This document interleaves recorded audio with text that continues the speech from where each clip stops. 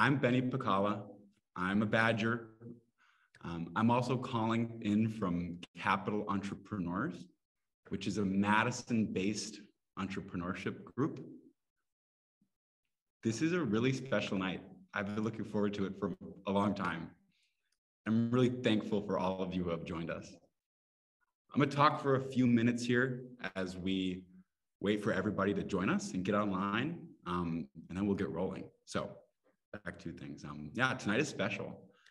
Not only is it likely one of the last events of the year, um, also one of the best events of the year, one of the most informative, um, but it also marks a development in how we connect kind of as Badgers, um, as current and former Madisonians.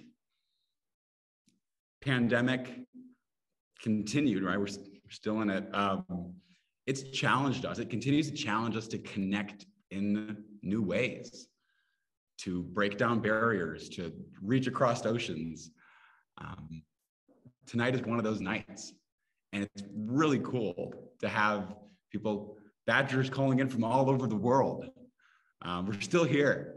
Um, so thank you for being here to, to celebrate, uh, to collaborate, to be, to be ourselves. Um, I hope the discussions tonight carry, carry into your teams, um, carry to other Badgers, um, and, and help touch the communities that, that you're engaged in. Um, yeah, continue spreading the Wisconsin idea. So um, before I do announce our host, um, our speakers, and how we're gonna set up the night, I'm gonna give a quick how to for Zoom webinar. Um, so you might notice that uh, you can only see me right now. Um, we do have the other panelists here. Um, there is a Q&A down below.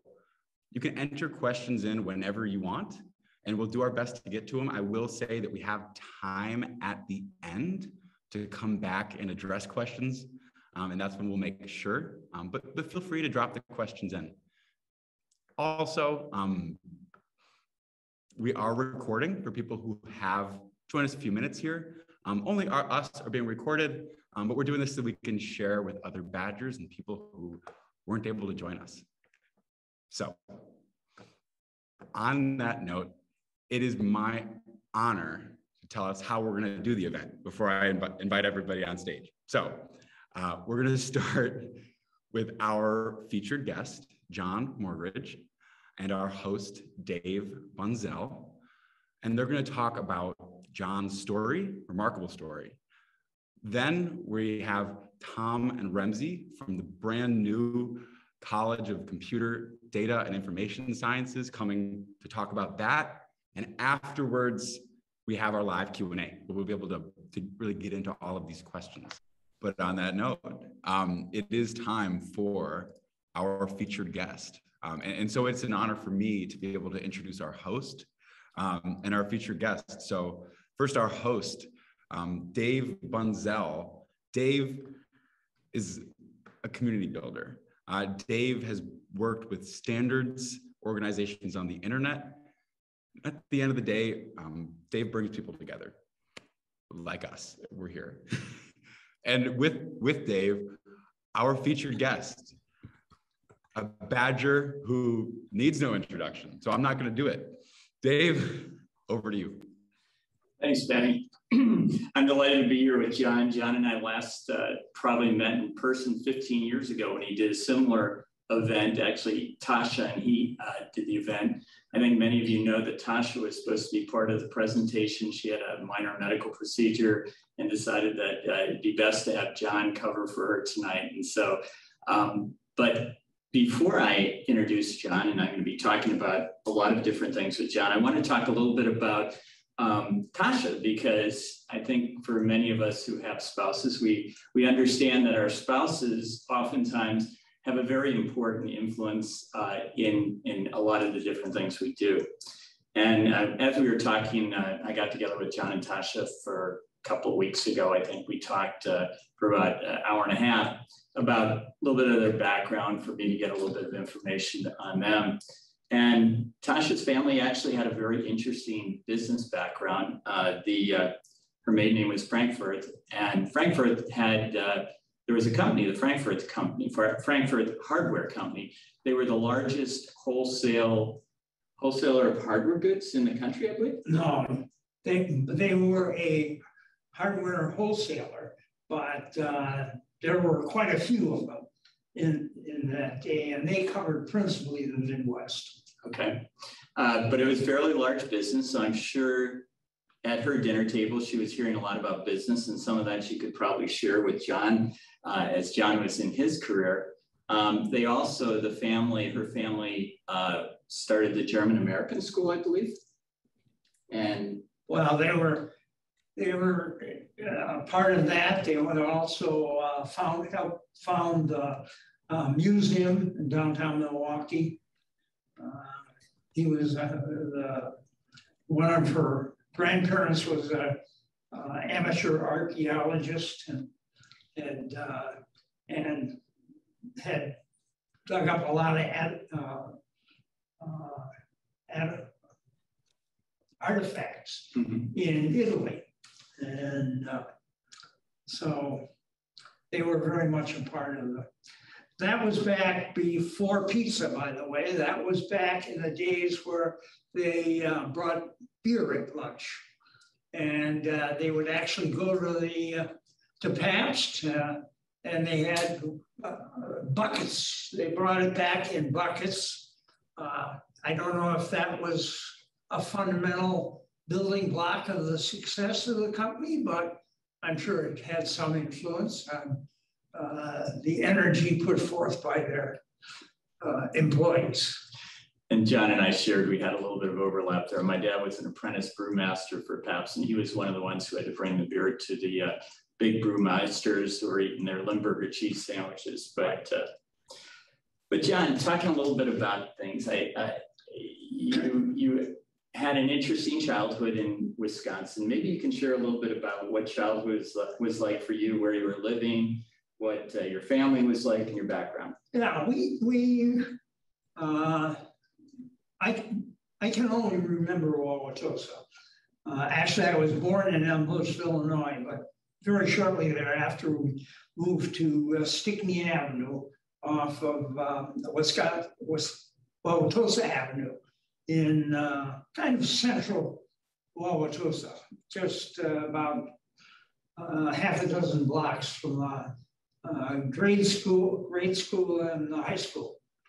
Uh, and I would say it uh, uh, it was a, a pretty interesting environment to grow up in, uh, and a lot of freedom in terms of what you could do. I I had a whole series of jobs, starting with a paper route, which I think is almost fundamental to people of my era who were have been successful. You had to have uh, uh, had a paper route. It taught you a lot of things about uh, self-discipline, but it also uh, uh, underlined the value of a penny. You know, that was back when every door you hit with the Milwaukee Sentinel in the morning was a couple of pennies in your pocket. Uh, did a lot of biking, even as a, youngster. Uh, did a lot of camping, canoed a lot of rivers, starting with the Wisconsin and the Chippewa, the Flambeau, uh, parts of the Mississippi. Uh, so quite a bit of outdoor, outdoor activity. Uh, the other job I had early on was polishing cars washing and polishing cars. And then I spent um, three summers in, in, high school at the Teeny Weeny Pea Factory in Oconomowoc, Wisconsin. Uh, we I was paid 75 cents an hour, but we worked 16 hour days. Uh, uh, we worked uh, on uh, uh, stocking inventory during the day, and then we cleaned the plant at night with uh, high-powered hoses. Uh, I subsequently went on to uh, spent some time sorting mail in downtown Milwaukee. Had a wonderful job at the Pabst Brewery, cleaning the uh, uh, walls in the malt house.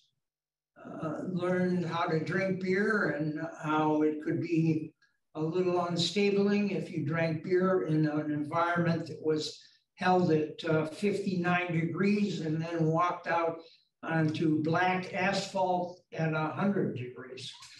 Uh, the uh, the uh, I had a, a I was a tunnel mucker, dug a, a storm sewer under the Milwaukee River at 100 feet below surface. I was a front end brakeman for the Chicago and Northwestern Railroad.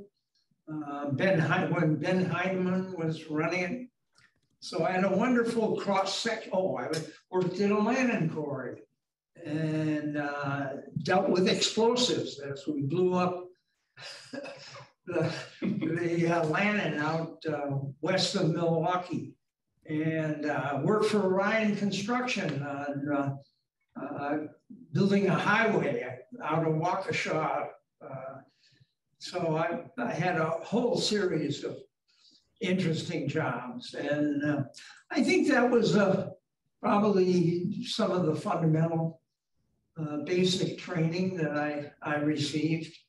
Uh, and I got started in, in the computer business uh, quite uh, coincidentally. We, we got to get to that still. You're, you're still in childhood yet, oh. but, but a couple different questions for you. How did you meet Tashia? She walked past our house. Uh, she lived a block. She lived on State Avenue too. And she moved there when she was, uh, I think, in about 10th grade and had a wonderful set of legs that uh, I came to admire very I, I think she's listening, so. came to admire very early on. And uh, I knew her cousin, and uh, uh, that's how we um, uh, got acquainted and had a wonderful time in high school. And also in college. So, what uh, what lessons did you bring from your youth in Wauwatosa to Madison? What lessons?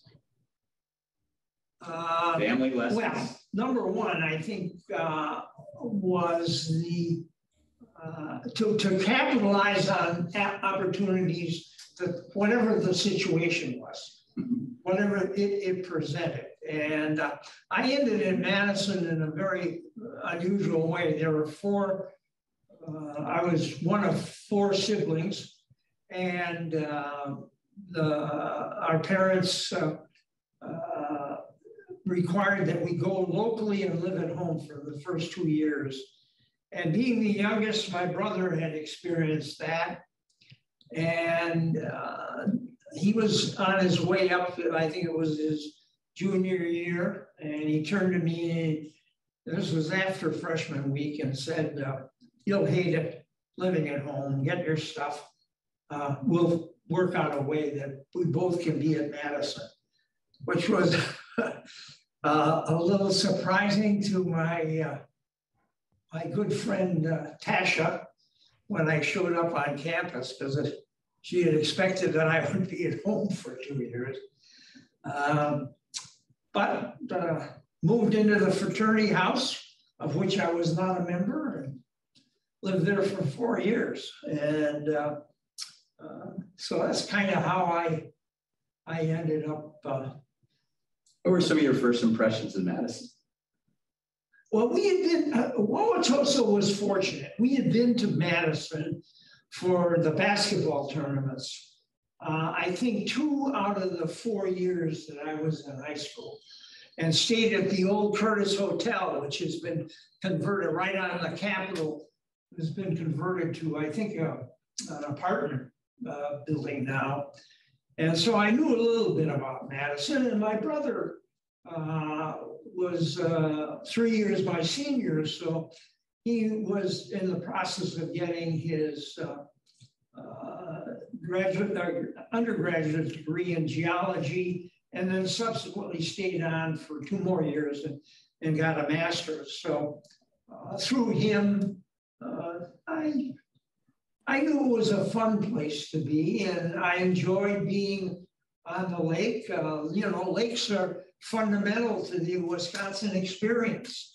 And uh, uh, so uh, finding it there and living right on the lake, our, the fraternity house actually periodically was threatened when the ice went out and all the pledges had to go down and take axes and break up the ice so it wouldn't take out the pillars on the front of the house. So it was so good times. You you had a career in technology, but you majored in business. Maybe you can explain. Well, it wasn't actually. It was commerce, and I also uh, spent some time in the law school my senior year to determine that I didn't want to be a lawyer. But uh, it was a rewarding experience. Uh, so how, how, did you decide business? So you you talked to me about how you ended up in I, business. I decided business based on uh, kind of uh, the, the job experiences that I had and the uniqueness of the structures and how, what were the keys to, even at a very elementary level, what were the keys to success for you in that job? For instance, in, in, in mucking, uh, I didn't actually use the air spades that dug out the muck, but I loaded the push cart uh, that we pushed down the tunnel to the uh, shaft to take it out. And um, the uh, uh number was the number of six inch wide uh, beams, and there were six of them that you put built. And then what they did is they put the concrete forms tied to those beams and blasted concrete in around them.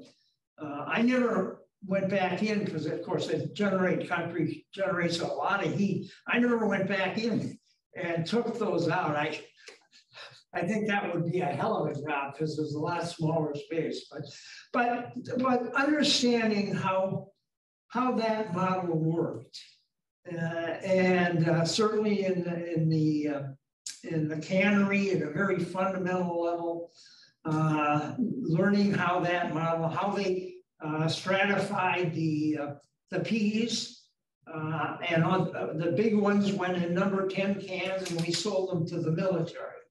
Uh, and then the teeny weeny peas went in smaller cans and were a lot more expensive, of course, per ounce of peas. But just, just that kind of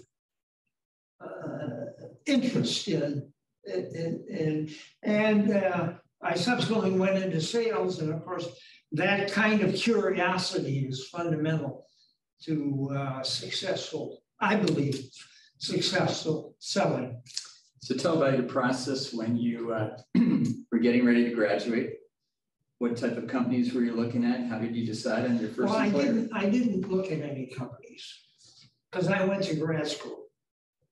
And uh, fortunately, I did not, I was rejected by Harvard and uh, enrolled at Stanford. And that was probably one of those uh, uh, incidents that really had a, a, terrific impact on my subsequent life.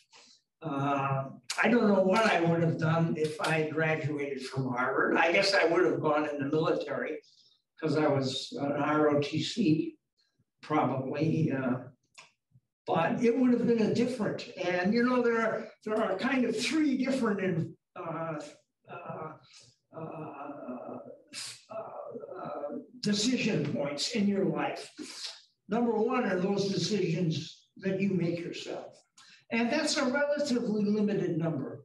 Uh, might include, you know, a car, a house, a spouse. Uh, then there are decisions that are made for you by your parents, by your government. You know, the government decided that I uh, had to register and that I had to go into the military. And that set me down a certain course. And while I was, and then there are those kind of uh, non specific, not focused events that impact your life.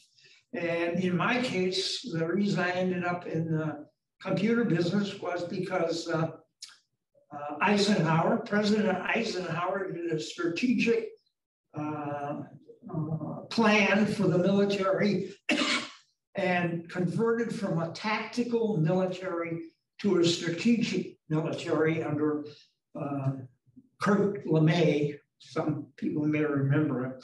And I was given two, uh, 24 hours to decide whether I was going to stay in the military an additional uh, couple of years or and fly or say no and fly a desk.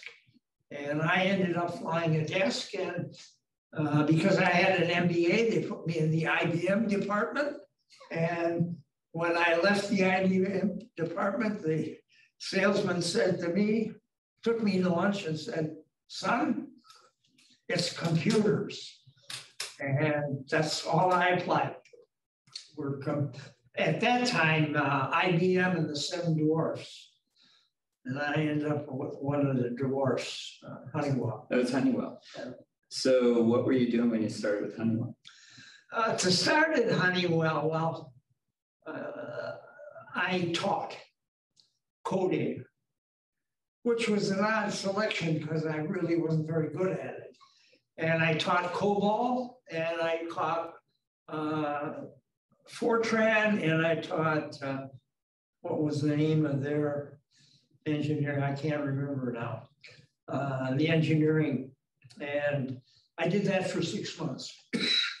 and then they felt I was qualified to go into sales. So I got a territory uh, and uh, spent a lot of time. Uh, I don't know if you've ever been in sales, but uh, at that time, the, the, the door to selling to companies was a window about yay big with a woman sitting on the inside, smiling, hopefully. And uh, we went in and, had, and I'd say, uh, I want to speak to the head of the IBM department, which is kind of cutting because I mean, they were the competitor. And I did that in Chicago, and uh, then I became branch manager in Milwaukee, or and opened the office there, uh, and then went to uh, to uh, California, opened, ran the office in San Francisco for Honeywell. For Honeywell. And then you went to Stratus? Well, then uh, uh, I, I was passed over three times to be the general manager of the computer uh, organization for Honeywell. And I thought there was a message in that. Uh, and the message was that I was too short. All the guys that got the job were a lot taller than I was. And so I decided I had to make a change. And uh, I got an offer from a startup called Stratus Computer out in Framingham, Massachusetts, and never looked back. So how big was Stratus at the time? You said it was. When I joined, it was about. Uh, I think I was the 23rd employee, and other than one secretary, the only non-engineer. So it's and I can remember the computer uh, at that point, they uh, it was on a table about this big, and it had uh, I don't know how many boards, half a dozen boards, and an oscillating fan was going, and it was they were in. Uh, you know, you can take cardboard and cut slits in it, and you can put the board. That's what the computer was when I started. And, uh, so, what brought you back to California? I got offered the job of president of a company. That was great. That was good. So how did that go? That was uh, kind of a... that was the company that uh, no matter what we did or what uh, it was a, a, company where there was some kind of a catastrophe every day, and our product, the, the product idea was ahead of the times because you try and take that amount, the amount of electronics at, at that point and stuff it in a 12 or 15 pound. Let, let me case. pause for a second. Maybe people don't know that this was one of the first notebook, laptop, whatever you want to it call it. was one of, one of the early ones. Yeah, so this is, this was the It challenge. actually went to, uh, into space.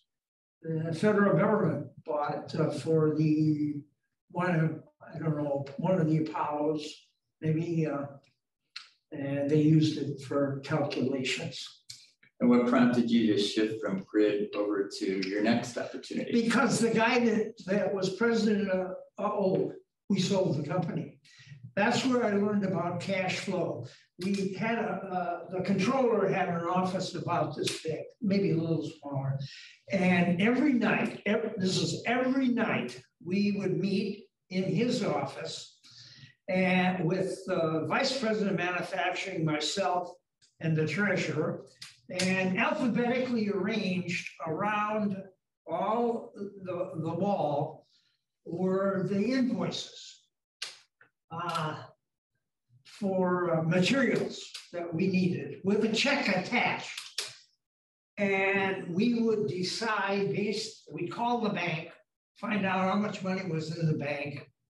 And then we would, the manufacturing guy, we'd go around and select which invoices we would pay so we could stay open the next, uh, You didn't have a lot of extra money. we never had extra money. You had no runway, as they would say. No runway. No, no, we didn't even, uh, you know, there are two types of backlogs. There's the backlog that you talk about publicly, and then there's the backlog you can actually ship.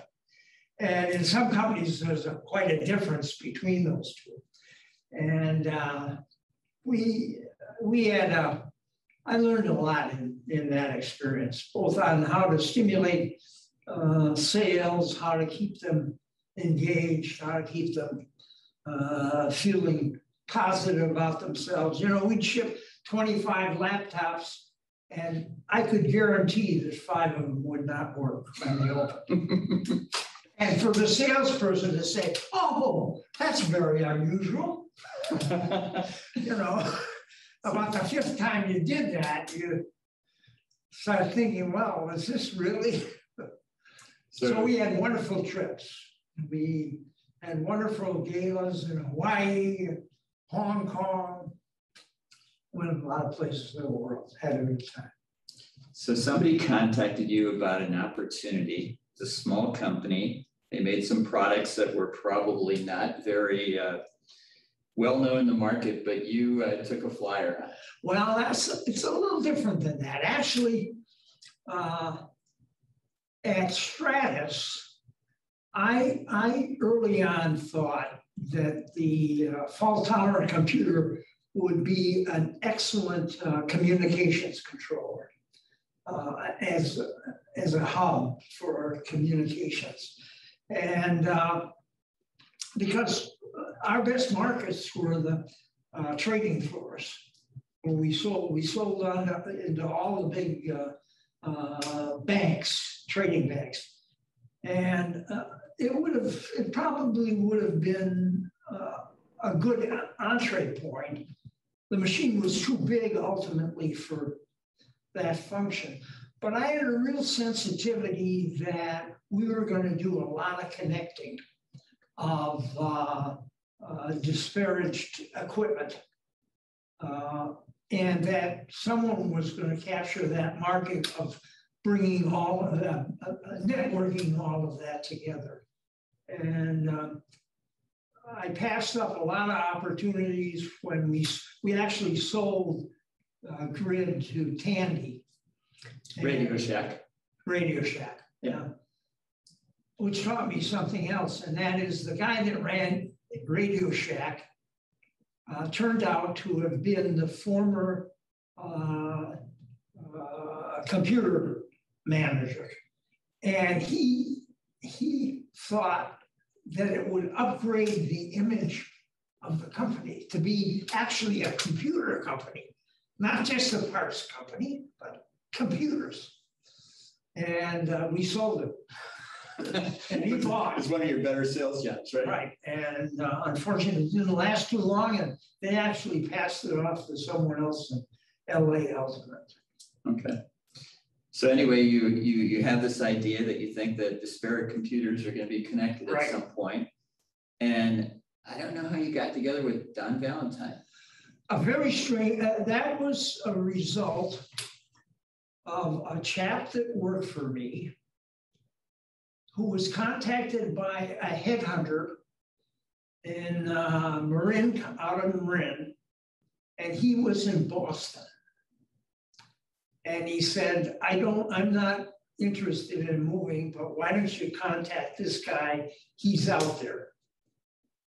And this guy was he's, Valentine. yeah, and he's never, no, that was the headhunter. Okay. And uh, the headhunter actually, uh, I, the headhunter had been hired by Cisco to do the search. And they were looking for what position? They were looking for uh, kind of a, a, a head of sales, service, and marketing. Okay. And I had had that job. Uh, that was the job I had at uh, Stratus. Mhm. So, and uh, Valentine taught me something also. He, he, he liked the fact that my career had a progression.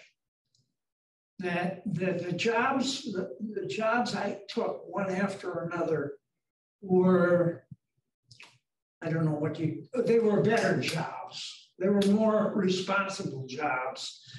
And he liked that pattern. Uh, and, uh, you know, founders, as we see today, uh, you know, you can read about it in the Wall Street Journal, uh, founders of a lot of companies uh, are successful because they're a bit quirky. And the founders at uh, Cisco were quite quirky.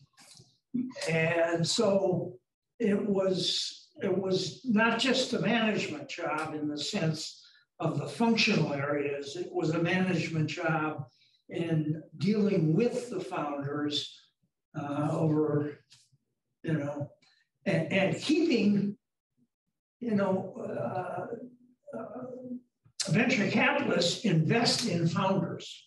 They don't invest in guys that come in after the founder. That's not. And so there's a tension between the founders, the investor, and the guy that theoretically is supposed to run the company and grow the business. And certainly, you know, So when you found the company, you had some quirky founders, interesting technology, but you not only said that you were interested in coming in, but you also said that you were interested in investing. Yeah, I learned that at Stratus uh, because um, founders often think that the uh, product that they've built sells itself. That if you go out and tell the story correctly, people will buy. And in some cases, that may be true. In some other cases, uh, it may not be obvious to the, the buyer what all your advantages are. And uh, we had a vesting a vesting model that's pretty standard, and that was that uh, you vested over four years at Cisco and uh, or at Stratus, and the first year uh, you get nothing until you fill. And I joined Stratus in uh, when the hell was it? My year was not up. And we had what we call Black Friday, where the president of the company, who was an engineer, set a deadline. And I could have ended up walking out of there with nothing. And I decided I wasn't going to do that again. So at, Cisco, I, I became, uh, as a result of the success of Stratus, I had money that I could invest in, in, in the company. And, and Don Valentine, you we, we talked a little bit about this and we talked about the fact that Milwaukee people are known to be quite frugal. Uh, my wife would tell you there's another word for it, but anyway, uh, I guess you were frugal and that was one of the things that Don appreciated. I think Don liked that uh, along with it. And, and the other thing about it was that the founders had a, had uh, a frugal uh, streak based on their backgrounds, which are, you know, quite humble backgrounds that they came up, I think, the one I think did uh, may not have had a father for, and the other lived with an aunt or something. And so they they they had a definite. Uh, it would have been a conflict if and uh, so I, I, uh, I arrived at the plant with a broken windshield for a number of years. Tell some of the frugality stories because I guess Cisco, you were famous for some of these stories. Oh, well, of course, the big argument you have with a sales organization and uh, support people is uh, the right to fly first class. And uh, so we had that argument. I mean, here's a company that's uh, kind of like a bank in terms of the money that's coming in. Our, our uh, you know, we were a hardware company, but our gross margins were in the low 70s. So you're generating a ton of cash. And if you're growing, uh, you're not spending at that level. You know, the spending lags uh, that cash flow.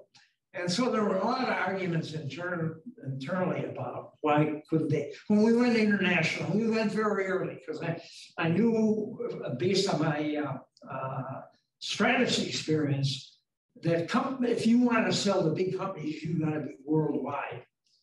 And so we very early on at Cisco went to Europe and subsequently to Asia, Japan. And so there is a lot of, you know, a lot of travel. And, um, but here my size was an advantage, you know. I can be almost comfortable in coach, or at least look that way. And uh, so we had a lot of debates. And so I created, at the sales meeting, I created a, a virtual first class which, uh, and I had to, I took videos. Uh, I flew to Europe on Pan Am first class and took videos of the shrimp and, the chilled uh, uh, vodka. You know, they used to put it in a, a block of ice. And uh, so I took these periods sleeping. And uh, it was at the age, uh, just coincidentally at the time, they were they were featuring this idea of visualizing a tennis stroke or a golf. Remember that? Yes, yes. You know, you got to see yourself. And so my my idea was that you would visualize first class. First class, and I demonstrated it at uh, you know. Uh, and we had a motto uh, that was, uh, we'll always try and up upgrade you to the aisle. and we had little, you know, uh, in first class, they always gave out little, we had those with life shades, so on, earplugs. So you could visualize, really get into it. Didn't you tell me one of your employees uh, kind of? Oh, well, So shortly after the sales meeting, we always had our sales meeting, unlike uh, unlike uh, uh, Stratus, where we had, or I'm sorry, unlike GRiD, where the product was tough to sell, we had very, very nice sales meetings with husband and wife and Hawaii and Hong Kong and that sort of thing. Uh, our product, at least, and I wasn't the engineer that designed it, was easy to sell. And so we had all of our sales meetings in San Jose in the summer. Okay. Well, you can get good cheap rooms then. And uh, so I was introducing virtual first class and subsequently flew to Minneapolis and I was sitting in coach fortunately. And uh, the stewardess came back with one of those little cards that said, uh, uh, Northwest Airlines would like to upgrade you to virtual first class. Some smartass salesman up in front, front of me, probably in first class. I don't know. Well, you uh, retired. Well, talking, going back a little bit, and one of the questions we talked about was, um, you know, all of a sudden, you know, guy from middle class background in Milwaukee uh, ends up Cisco goes IPO. How did your life change? How did I? Well, uh, I I don't know that at a fundamental level it train, changed all that much. Uh, we have two uh, luxuries. One is we have a second home, not a third, not a fourth, not a fifth, as seems to be currently in vogue, but we have a second home uh, and we have an airplane. And the airplane, I don't know, have you ever traveled to Madison? You know, you can't travel directly to Madison. You travel to somewhere else first you know, you travel to Minneapolis or God help you if you go to Chicago, but maybe St. Louis. Uh, I, I don't think we could have been involved at the level that we've been involved. Now, I have an interesting story, and correct me if I'm wrong, but a couple years ago, Wisconsin was playing one of the uh, NCAA basketball tournament games, and you happened to be speaking, I think, in front of the computer science or the engineering group. And you said, Does anybody need a ride to the game? Oh, yeah. And I think a couple people went. Yes. They met you at the airport and you took them down to so, LA. I can't remember. Yeah, LA, I so yeah. yeah, so it was kind of fun.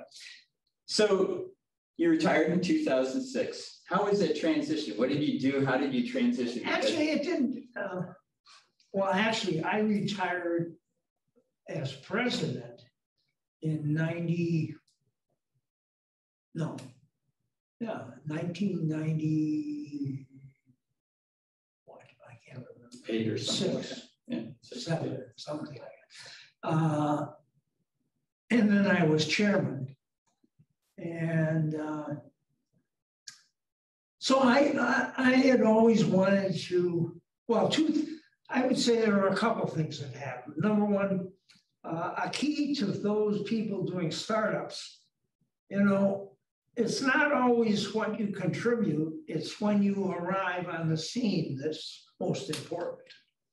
And the earlier you arrive, if the company is successful, and that's a big if, uh, you are disproportionately rewarded if you hang on to the stock. You know, some of our engineers went out and bought uh, Ferraris, and I used to. Uh, you know, they'd buy it one year, and the next year I'd say, "Well, what's your Ferrari worth today?" you know, it's gone up in price, it's doubled maybe. Yeah.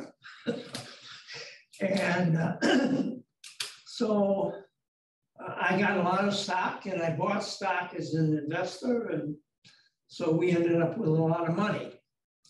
And I would, I would say that changed our life in that, uh, in some ways, but uh, mostly in our, our giving. That's what I was going to say. So you shifted at least when you left right. Cisco to being, you know, as we discussed before, philanthropist. Yeah, but you know, uh, a lot of a lot of the experiences we had were not directly the result of money. Uh, I was involved at CARE and traveled the world with them. And there's no better way to see the world than with some kind of a third party, not as a tourist, but as uh, in a different role. Uh, I traveled the world with BENS, business executives for national security. Yeah, you had to have some money to keep the, the you know, donate and support those. I was chair of the uh, Nature Conservancy, traveled the world, went to New Guinea and places I would never, you know, have gone as purely a tourist. And um, so there is some money involved there, but it's not, it's not at a magnitude. It's your decision personally that you want to, uh, well, number one, that you have something to contribute. And number two, that you have a, a kind of a, a, a passion for uh, that undertaking. And uh, uh, so, as I said, uh, the second home and the airplane were the big, were probably the major changes. Uh, we've had our house since 1990 something. So Wisconsin happened to be one of your passions, and it seems Wisconsin, like Wisconsin is one of the passions. You know, it's a unique school in the fact, uh, not only what you learn, but that it's it's a wonderful community to be a part of. And uh, what is it about Badgers? Because we we all I, I tell you know, a lot of stories about. Well, you know, I I don't know that. I think we think it's unique. I don't know that it's all that unique. I mean, if you've ever been to the RAGBRAI, riding across Iowa on a bicycle, it's it's got a lot of the same kind of energy and adventure and camaraderie. Uh, and there are a lot of there are a lot of situations like that that you can uh, be part of it. We we were in Denver for Thanksgiving and did the turkey trot, and there are you know eight thousand people, little kids, dogs. Uh, it, it exists in a lot of different forms in a lot of different places. But I would say that that um, you know I have a, a, good friend. Actually, it was a company we tried to buy and merge with, and uh, he went to Harvard. and he said, you know, I wear my Harvard shirt, and, and no one ever says anything. He said, but you damn bastards. He said, you know, you have hey, Badger, you know? All over the world. All over the world. I was in Milwaukee last week and you see it all the time and you have to hold yourself back, back. and say, there's a lot of them around here. Right. So I think what, what I'd like to do is I'd like to kind of open up to some questions and then. Well, oh, we, we should cover one other thing. Okay, and then why should we build this damn building? Yeah, go ahead. You know, I, uh, uh the building, it, it uh, uh, what I've come to realize is that space, the space you exist in, is relevant. And it gives us, it, it, it has flavors that you respond to. Uh, and I guess the best example on the Madison campus for me is uh, the School of Education and the redo of that building and specifically the redo of the back half of the building uh, and the kind of atmosphere and environment that that creates. Now, everyone may not want it. It's a shh place. I mean, when we designed it, we thought it would be an open, but it's a shh place. Yeah. So tell me, you have now three buildings that you've been involved with. All of them had this interesting design concept. You have education, with Wisconsin Institute of Discovery, and now the new CDS, CDS building. Was this your feeling based on something you had? Was this, you know, all the experts, uh, consultants who came in?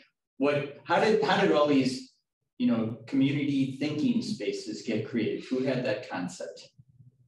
I think, I don't think it's so, uh, you know, all kinds of structures are going through that kind of reevaluation now. And it'll reevaluate again as a result of the pandemic. And uh, what it looks like coming out of that. Uh, the only thing that I would say is that I think that spate, uh, structure is important. Uh, have you been in the computer science tower? Um, you mean the old one? The old one? Yes.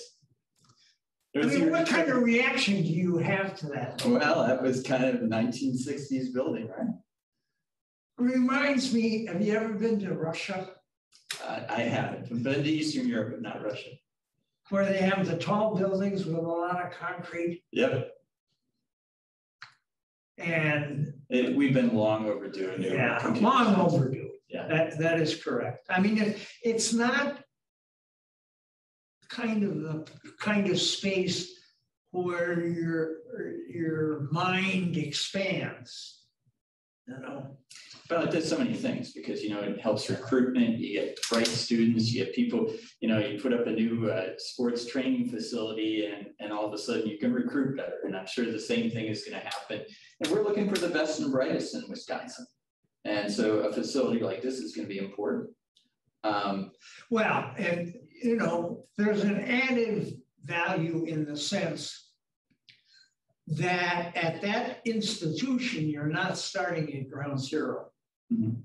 You know, they had, they had, they, they took in over 8,000 freshmen from every state in the United States.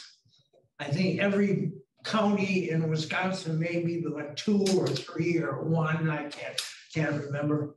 Uh, it's a vibrant environment and uh, a the right kind of structure leverages off of that enthusiasm and space. And that's why the building and its design is important. It is important. Well, let's ask a couple questions okay. because there might be some good questions. Benny, uh, uh we'll kind of let you take on the questions. Absolutely. Are you still awake, Benny? Wide awake. and I hope I'll be only audio because I really do want to focus on the answers here. Um, our first question What do you think is the most important thing a college student can do to benefit their future?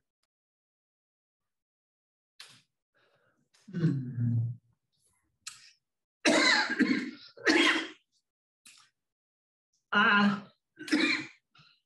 I think one of the challenges is uh, what's the right balance in terms of uh, and uh, what the balance is is a function of the time, the, the particular situation at the time.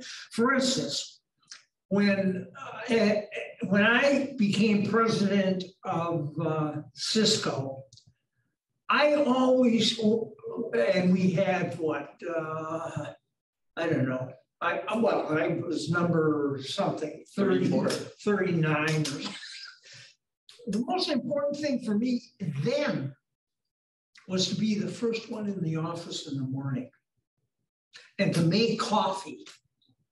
Because it sets it sets a so so what i'm saying is that the the situation particular situation you're involved in at the time dictates to some degree where you ought to put your efforts. And those efforts change depending upon what that situation may be and what your, you know, what your relationships are. and so I, I uh, but I, I would say the, the it took me a long time, for instance, to learn that a good partnership with your spouse works best when she says, uh, would you, before she even tells you what it is, you say, yes, I will. And more importantly, you do it then. You don't say, I'm going to do it tomorrow or next week or a month from now. Uh, so, situationally, and it took me a long time to learn that. And in certain parts of my life, uh, that wasn't the key thing. I didn't say yes, you know, when I was uh, uh, trying to get Cisco to breathe life into and get that capitalized on, on that opportunity. And it was different at uh, at Stratus, where I'd come into the office with 25 engineers, and I was the only one non-engineer in the place. And uh, the product was sitting on a table. I was head of sales, marketing. I mean, how do you market?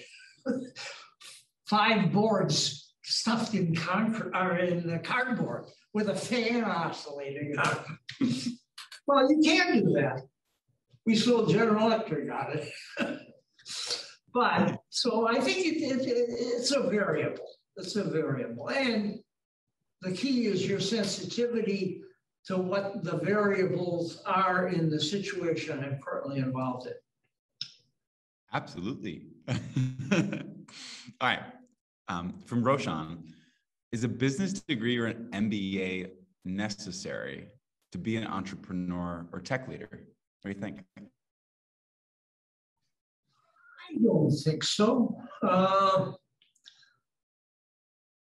you know, one of the beauties, one of the beauties of Silicon Valley, and one of the challenges in Madison, Wisconsin, is in Silicon Valley, you can hire or you can rent uh, whatever capability you want. You know, one, one of the beauties of in, in the era that I was here uh, was that you could get a prototype done in uh, a couple of weeks because there was that capability out there. You didn't have to do it. You could cut a, uh, do a board uh, and now I suppose you don't even have to do that. You simulate it in the software.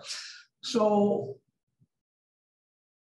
I think I think the the key is to recognize what you're capable of handling and making sure you, uh, that you uh, that you augment that with the places you aren't.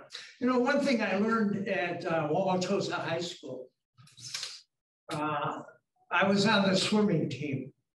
And the swimming team went to the state, won the state tournament two years in a row. Both, both years I was on the team. Won the suburban conference two years in a row. I was on the team. Won the Cardinal relays two years in a row. I was on the team. I was not the best guy on the team. So, but I had a, I, I was, I had teammates that augmented my limited capability. And I think that that's true in, in you know, in uh, any business, is to find those kinds of uh, uh, added capabilities, recognizing what you, you lack, not thinking you can do it all. Absolutely. Awesome. So, and I know there's a question about the computer science program, and we're going to come right back to it. I want to focus on the story with John. Um, we're also at time, but I want to, we do have a few more questions. And if people hang out with us, um, I even have Build Me Up Buttercup queued to play us out. Um, but we do have a few more questions. So I know we're at time, but please hang with us.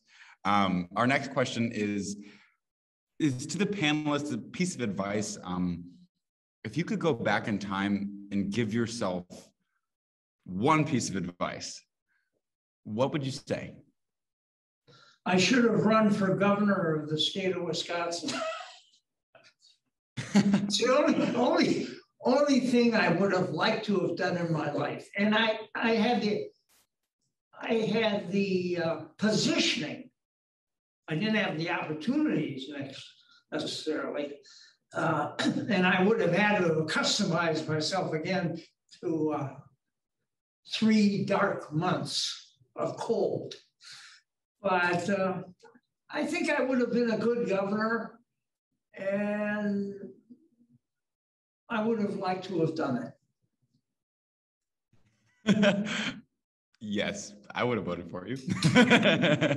um, so, and, and, this one's from Adam. Um, the community piece that you talked about at the end, do you have any advice or a story about how to build that feeling of community and teamwork with your own company, um, especially from starting out?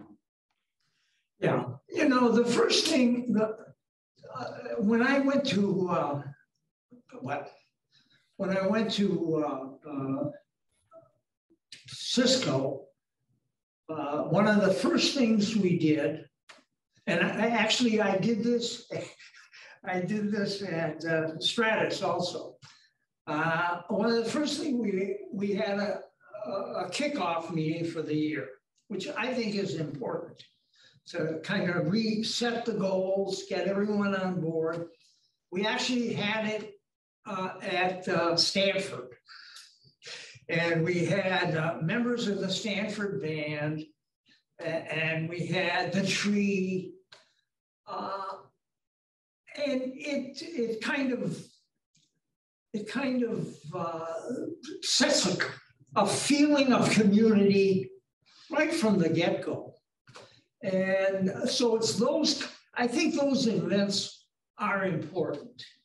Uh, I also think, and uh, you know, uh, Friedman probably disagree with me. Uh, the stockholder is not the only important person in the room. Uh, I'm a believer that there are a lot of constituencies that are important to a business and to up to to to the, community and the country and so on, and that you should be sensitive to those, and you should be part of those. Uh, you know, we we did a food drive, and they've done it ever since, I think, and they win it most years. And so those kinds of things, uh, uh, we had we had we had picnics uh, they aren't expensive and they don't take a lot of time and they they change the atmosphere. They you know they change the atmosphere of the place. Absolutely. Awesome. All right. Uh, and this question is from Craig. Um, and then we're going to bring back up everybody to talk about uh, questions from CS and everything um, and get through the rest of our questions. But Craig asks what are your thoughts about quantum computing? Is it a pipe dream or is it real? Uh, if real, when do you think it will be applied, applied broadly? Way above my pay grade. you know, Remember, don't ask an old man what the future is going to be. He knows a lot about the past, and he tends to think in the terms of the past. I don't know. I I I can't give you a good answer. Tom um, or Remzi, like uh, if you don't mind, introduce yourself to everybody that here that doesn't know who you are. That's great. Well, thank you, Benny. It's a real privilege and honor to to be here with you, and I'm I'm really proud to be a Badger when I see the young Badgers like yourself uh, taking the stage. So thank you very much. Uh, my name is Tom Erickson. I'm uh, actually a third generation Badger myself. I grew up in Wisconsin, but uh, graduated in the last millennium and actually became an entrepreneur. So that's my background. I spent 40 years as an entrepreneur before I being called back to my alma mater to uh, really help found together with Remzi. Um, we've created a, I think, really a special partnership uh, to create this school of computer data information sciences, which has a special vision that we're excited to share with you later, and one where entrepreneurship is front and center to the whole um, mission. So with that, uh, I'll let Remzi introduce himself. Oh, sure. And thanks, uh, Tom, and thanks, uh, Benny. A great intro. And, uh, you know, I think anyone who's involved with the university, uh, um, one of the prime motivators are seeing, you know, young people like yourself and, and the energy and enthusiasm you bring to uh, what you're doing. Um, and it just it kind of uh, you know makes us all feel younger and, and more energized to go forth and do things. So uh, by the way which is 100% been what it's been like to be on campus again right? Being on campus uh, as people may know some maybe some of the attendees don't. Uh, you know we've been in person and and that's just been really uh, you know energizing to to be connected again in, in a less virtual way than than, than this event, I guess. Um, so anyway, um, my name is Remzi Arpaci-Dusseau. Um, uh, been a professor here for 21 years, and uh, I am a, currently the chair of the computer sciences department. Um, I work in computer systems broadly. So the, you know, like operating systems and, um, you know, distributed systems, storage systems, that sort of that sort of thing. And that's where we spend our research part of our mind. And that's where what kind of topics we teach to students. And it's been really a, a pleasure to, to work with Tom and, and really many others over many years on, on the creation of this new school here on campus. It's a historic event for campus to, to recognize the importance of computing and, and data, and also to really the connection of those formerly kind of almost niche technologies to understanding that they're really affecting everybody uh, in everything that we do. And so I think the campus has recognized that, and that's why they, we've made this structural change. And really, what will that will help with is, of course, you know, pushing forward research for many years in, in, in all these directions of, of technological directions, but also really helping educate a broad group of students, not just our majors, but many, many people who have to become much more technologically savvy than they used to in order to really, uh, you know, be effective in the modern world. So I think a real opportunity for us to not only do the deep research that we've always been doing, but really a, a broader educational mission than we've ever had. So uh, exciting time, and I'm, I'm really excited to be here, and and and thanks for all the work to get this together. Absolutely. Awesome. But I know so as our our host Dave and John get set up, I actually think it might make sense um, just uh, if we might start with the presentation. Um, so I know we have a really cool presentation about everything we're talking about here. So I think we'll, we'll actually kind of get started with that, and Let's then we'll move to our fireside talk with with our host yeah. Dave and with John Morgridge afterwards but but this is thrilled. I'm really excited for this. So with that being said, um, yeah. Tom, I'll pass the torch off to you. Thanks. And let's dive in. All right. Well, let's do that. Before I introduce, I'm going to introduce us with a little video, but I just want to talk a little bit about how we got this started. It was uh, just a few years ago. CS had become the largest major on campus, and it was growing at over 30 percent per year in terms of number of students. It's gone crazy, a 10x growth in 10 years. And uh, that creates a challenge for universities not used to that kind of growth. And so uh, we created a committee, and uh, that committee worked on the future of CS. And Remzi was part of that. I was part of that, and a number of other great, great individuals. And the recommendation from that committee was to create this school, and that's how we got here. Um, and with that, I'm going to share just a, just a little video, and uh, hopefully you'll enjoy it. It talks a little bit about um, um, who we are. So here we go.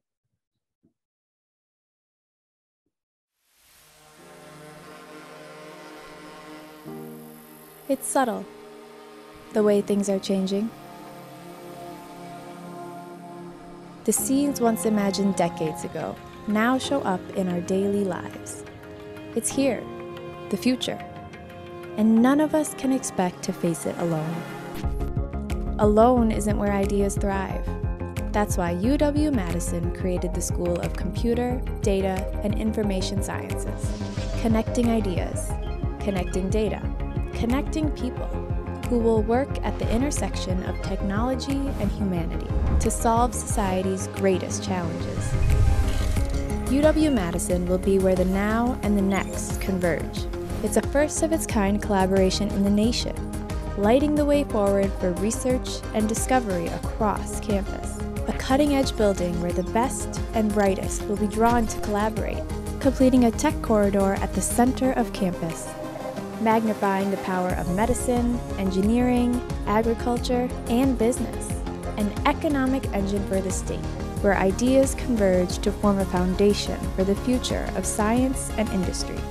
It's the Wisconsin Idea 2.0 not only will the influence of the university work to the benefit of the people of the state, but this new collaboration will make every idea better. When we connect, the future begins. CDIS, the convergence of what's next. Well, cool. I, I hope everyone enjoyed that. Um, we're going to transition now over to uh, just a little bit of presentation. But as I do that, Remzi, maybe you can kick us off and tell us a little bit about some of the, the constituents. You know, we've taken these top ranked uh, departments, put them together. Talk about what we've done while I bring up this, uh, the next part of the slide. So. Yeah, sure. Um, so uh, when we were on this task force that Tom mentioned, um, our challenge was to really figure out what is the future of computing and data on, on campus. And, and really what that ended up meaning is, well, who's going to be part of whatever this new school is that we were thinking about? And how can we use that to drive our mission forward? Um, so, you know, I'm in the computer sciences department, and obviously that was uh, a natural, a natural starting point. But we were seeing connect, connections and, and deeper and deeper connections into a bunch of um, a bunch of other areas where we felt like there could be some really strong partners on campus. So also part of the new school, the School of Computing, Data, Information Sciences, is the Department of Statistics. Uh, department of Statistics is uh, you know an old department. It's a top ranked department. Has some great history. There's some great people right now, of course, and and increasingly what we were seeing is, is that computer science department and statistics department we're starting to interview some similar kind of faculty. And where, why that is is because the connection of computing and data uh, is happening right between us uh, especially in areas like machine learning which is transforming so much of what we do out there. And and so one partner in this endeavor is is the department of statistics and we're excited that that they're part of it. And that really connects computing and data in a, in a deep way and in a way that's pretty unique across the country and in the world, actually. Um, the other part of it, which we'll talk about in a second as well, is the uh, what you is called here on campus as a department also. It's called the iSchool or the Information School. And there we were seeing a connection, say, between computer science and what we were what we were connecting to, which is the, the human side of computing. So um, for example, in technical areas like human computer interaction, studies of usability, and studies really of things like the impact of technology on, on humans.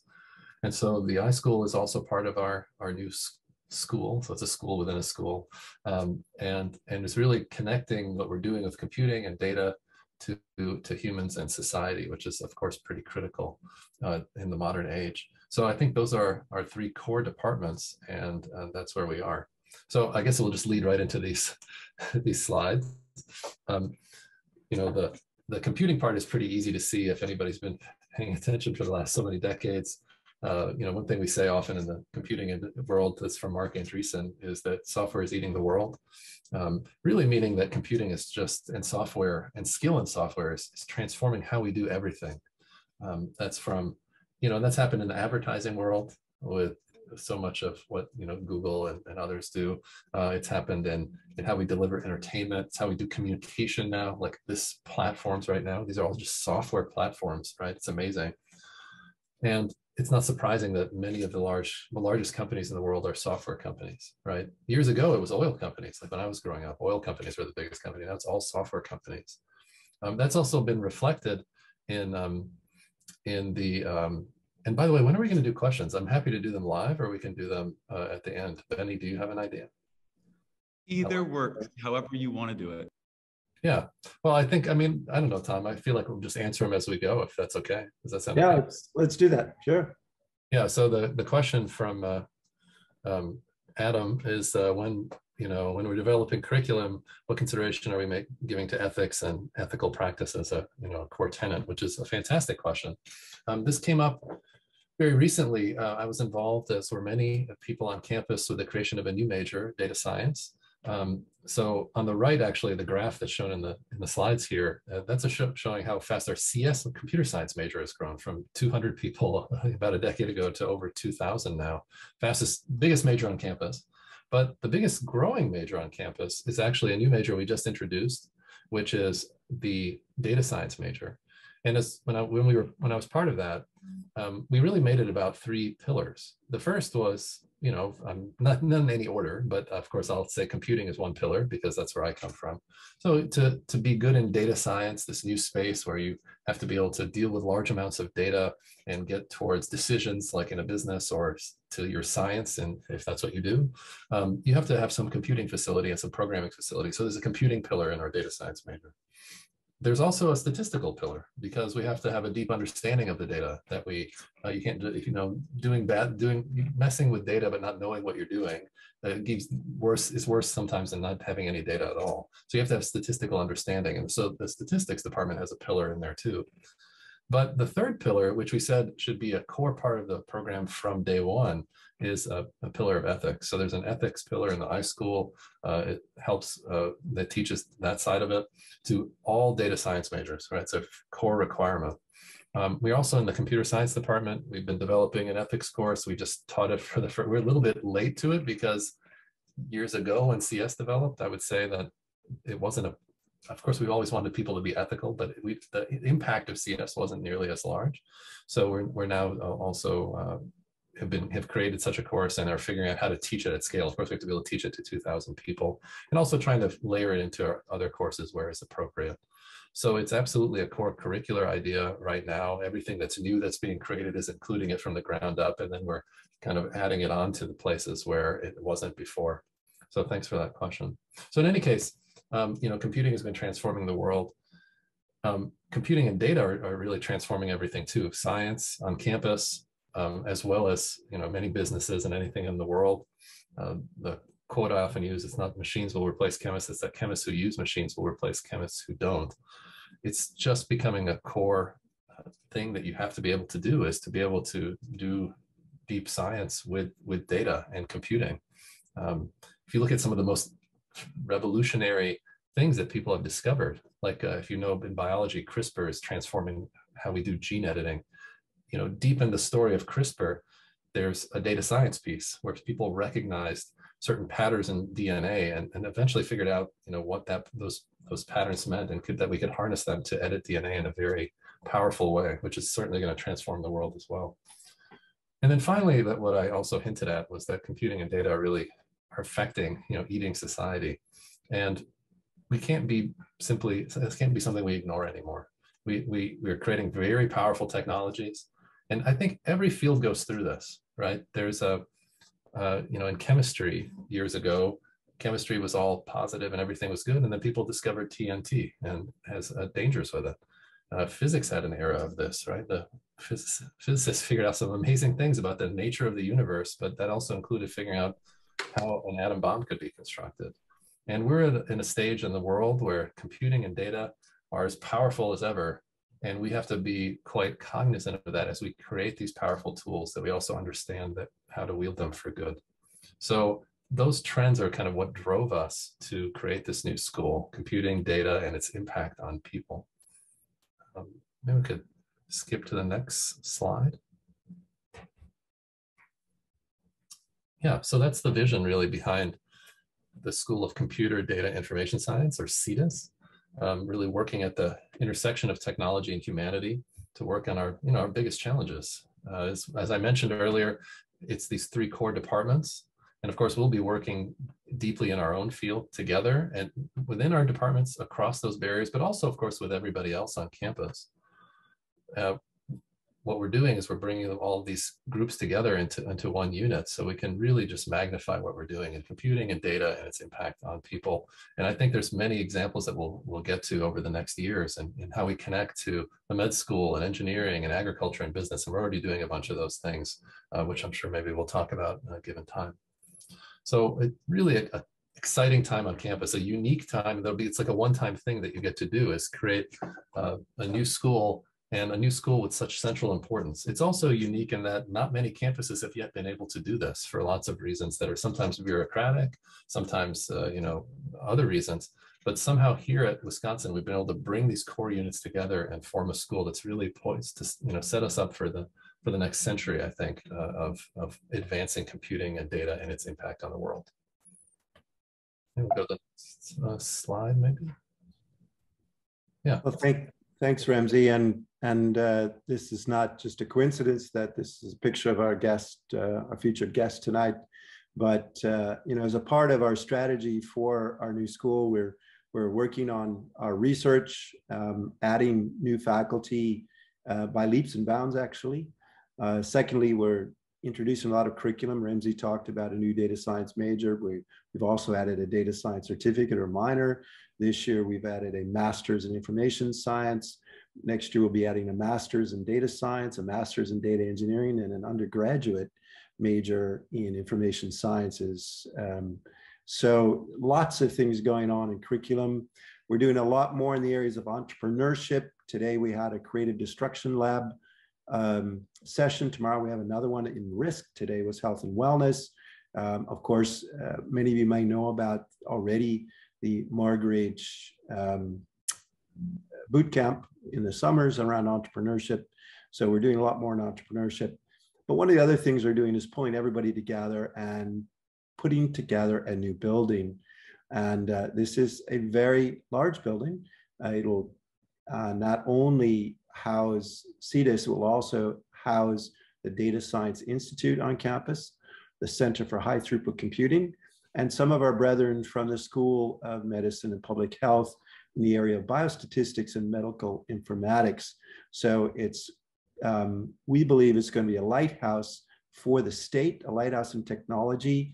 We see, um, you know, in areas of economic development uh, across the country, technology, academia coming, sorry, industry, academia coming together, government playing a part.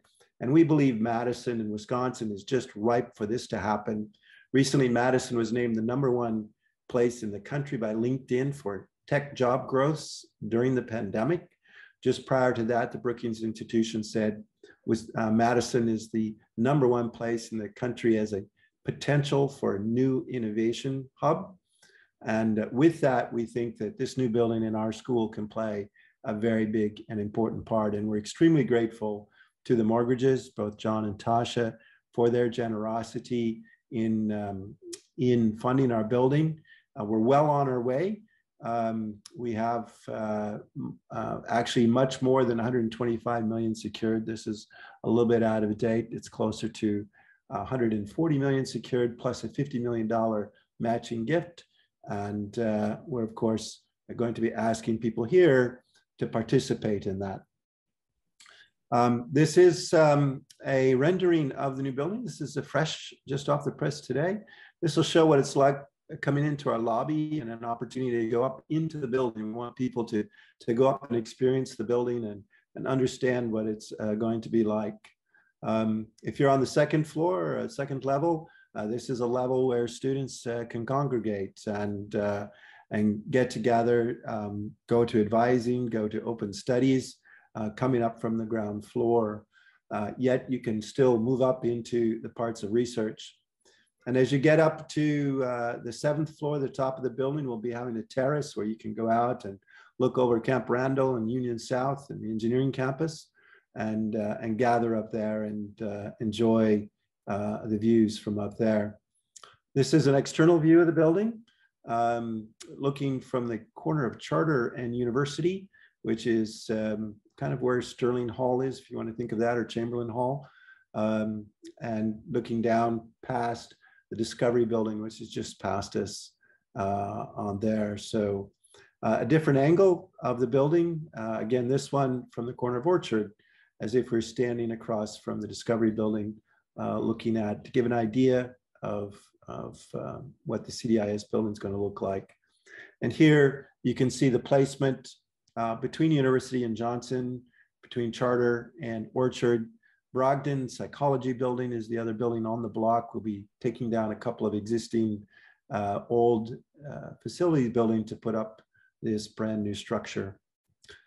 Um, the structure is unique, just like the school is, in that we're going to be putting together people in the research ecosystem and blending them and mixing them. So we'll have a floor for data science. We'll have a floor where there's people studying human computer interaction and you won't necessarily know, you know, I'm on this floor. Is someone part of computer sciences? Are they part of bio uh, BMI, the biostatistics uh, department, uh, statistics, the iSchool, these different things that come together. That's in the research tower. And on the lower levels, uh, below ground and level one is where we'll have our classrooms. This is really important to us. And Remzi's been an amazing champion for this because currently today, very few of any of the classes taught in either statistics or computer science are actually taught in those buildings. And so the students, especially first, second year students, probably don't get a chance to spend time in the building affiliated with their major or with the classes that they're taking. Um, we'll get to also a, an entire learning ecosystem, introducing new concepts in a learning center, learning commons, developing the notion of what a modern library is, and then going up into the research tower and up to the top floor. There's lots of opportunities for people to contribute, more than 200 spaces that can be named and recognized, and plus a recognition wall. So there's a lot of opportunities for people to invest in CDIS. Uh, this is some of the things that um, we'd love to share with you and think about. Um, and uh, with that, I am going to uh, turn it over. Um, do we have another question, Remzi? There's a couple of questions. Um, one is uh, what types of technology will be in the building for students? Do you want to take that? You want me to? Um, well, either way, uh, I mean, I think uh, I think there's a lot of answers to that, right? Yeah. There's a curricular technology, right, which is one one side of it. Um, there that uh, you know the modern classroom is going to have a kind of a ability to expose people to things in, in new ways. Uh, but I think probably the question is more like what kind of things are they going to be able to play with and where. Um, so I don't know if you want to talk about like the the CS Tech Hub and or, yeah like that. So we've got this notion of a breadcrumb trail throughout the building, and every floor in the research tower has the notion of a, a theme that associates with it. Starting with level three, uh, level three has a uh, sorry level two. Level two actually will have a a checkout area where you could check out a Raspberry Pi or Arduino or different things if you want to do it yourself. And so there's an opportunity. You know, today's modern CS library is actually about devices sometimes. Um, but moving up, and you can do all of this on the internal stairwell, going up to the CS Tech Hub, where we expect to see all kinds of things happening from edge computing demonstrations with lots of sensors and uh, things uh, along those lines into building automation, plus, of course, robots and other types of devices that we're doing together with some of the uh, software-based research that we'll do. And those areas will be accessible and viewable to the public. Um, and uh, also in those areas, uh, we'll be mixing in uh, graduate student uh, facilities that, uh, so students that come in will have the chance to work together and collaborate. Moving up into the fourth floor, we'll find an opportunity on the fourth floor for a, our HCI hub human computer interaction and user experience. We have a special area for interviewing people and, and uh, taking um, studies of uh, things along human computer interaction. Moving into the fifth floor, it's our data science floor. We'll have a visualization studio, plus lots of opportunities to uh, take a look and understand what data science is doing. So the visualization studio is going to be very cool in the way that we allow ourselves to visualize the data and, and understand what's going on. In the sixth floor, we, we call it a new hub. Uh, we haven't actually defined the theme yet. Uh, it's a relatively new floor for us, and we're kind of leaving that open. And on the seventh floor, uh, what is very cool about the seventh floor is we'll have a 160 person seminar hub, which will be a great place for guest speaking, both for faculty guest speakers, but uh, as well, people from the outside. And we're hoping to host a lot of entrepreneurship activities in the building. Uh, we're having an entrepreneurship uh, center on the level two, but even on the seventh floor, we'll have a space for presentations and accommodating people in entrepreneurship or other uh, types of uh, presentations. So, yeah, did I miss some things there? No, that's great. And um, this one's from Roger. Um, talks about NLP, natural language processing, um, specifically about a course at UW, CS 545.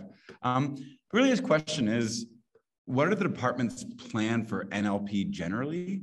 And if there is any plan to at least start offering this, what do you think? And this might be towards QS. Yeah. Maybe I should answer that one. Um, so, yeah, NLP is important, like many areas of computer science, and um, we're actively the campus actually is actively trying to hire people in this space. It is pretty competitive. Uh, we were fortunate last year to hire um, a faculty member, not in CS, but in a, one of our peer departments, uh, biostatistics and medical informatics. And, and so as a result of that, we'll be starting to see some of those classes again.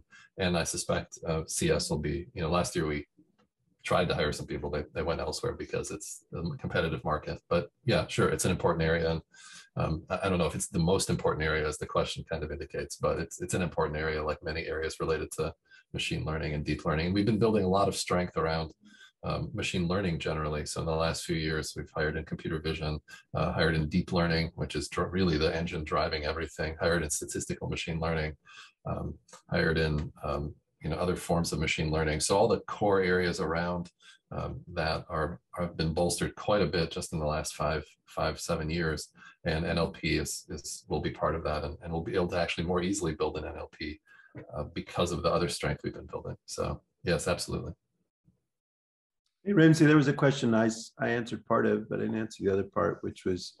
Uh, dealing with executive master's programs, we have professional master's programs I assume by executive master's programs, I mean for part-time programs for people. Um, do you want to talk a little bit about our thinking on our master's programs? Yeah, I think um, you know a lot of opportunity um, exists in that space, and and you know of course while much of what we're doing is is focused on you know, we have a, a research mission that's front and center that we're always trying to increase our excellence and depth and CS and related areas. Um, you know, education, we have many educational opportunities in front of us at many levels. So we've created, we have a professional degree in, in a, in a master's in the CS department. We also have a professional certificate where people who are a little bit less versed in CS can, can gain a foothold and kind of prepare to then get a master's. It's almost like a second major late in the game. Um, we are developing a professional master's in data science and and that'll be i think a really fantastic degree uh, and we're also working with the b school to um, in, in the space of creating a, a professional a kind of a tech mba so where you would come in and not only get an mba but also get a um, some CS uh, expertise in the form of a, of a certain form of a CS masters. And I think uh, that will be a particularly useful in this burgeoning space of product management where where people have to be able to be not only leaders on the on the business side, but also be able to understand technical products, software products uh, deeply enough so as to be able to lead teams that drive forward innovation inside of companies is also in, in, in venture. So a huge number of things going on in that space uh, that I think we'll be we'll be doing over the, the next so many years.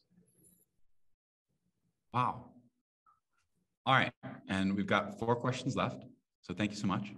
Um, I'm going to just pause for a second, Benny. Uh, Roy, who's letting us use this office, said that the lights are going to go off in about 10 minutes. So.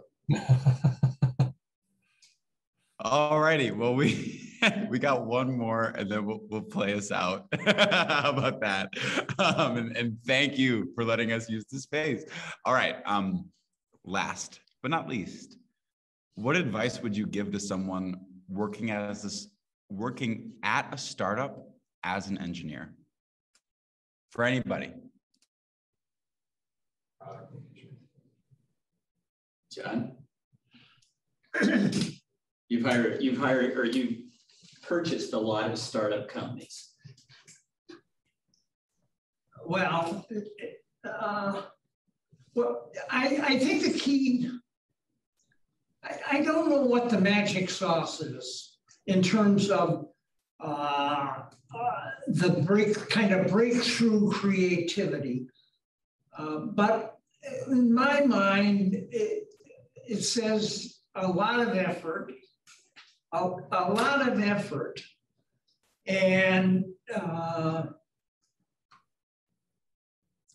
and a lot of openness and discussion uh, within the group. You know, we, we bought a company down in uh, uh, Santa Cruz. And it was, you could tell how active they were just by looking what uh, at what the wave conditions were in uh, Monterey Bay. And, uh, you know, sometimes the phone would ring a long time on, uh, on certain days when So it, it takes a lot of, it takes a lot of, uh, of dedication and, and a lot of kind of stumbling around. I, I, I don't know. I might add something don't to think there's that. an easy answer. Um, I might add something to that if I may, John, which is in addition to effort, the notion of saying yes when people come to you with an opportunity, you know, you'll, the leaders in companies understand skills and they look at them and they'll come to people they think can contribute in a greater way. And uh, saying yes to those opportunities will create more opportunities for you. So I think that's a really important uh, thing to remember.